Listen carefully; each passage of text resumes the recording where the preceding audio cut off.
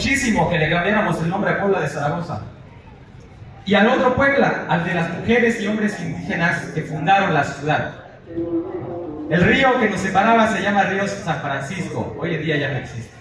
Hoy en día nos separa todavía un río, pero ya no se llama San Francisco, ahora se llama Atoyac. De este lado, los edificios enormes, fruto del gran trabajo del capitalismo, del, del dinero para unos cuantos bolsillos.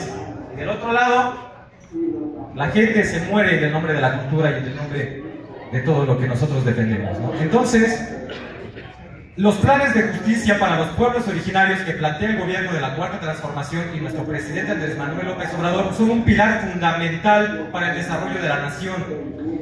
El país crece, el municipio crece, el Estado crece y el mundo crece también y madura. Nosotros, eh, eh, a nivel internacional, muchos países han crecido en materia de derechos indígenas y México no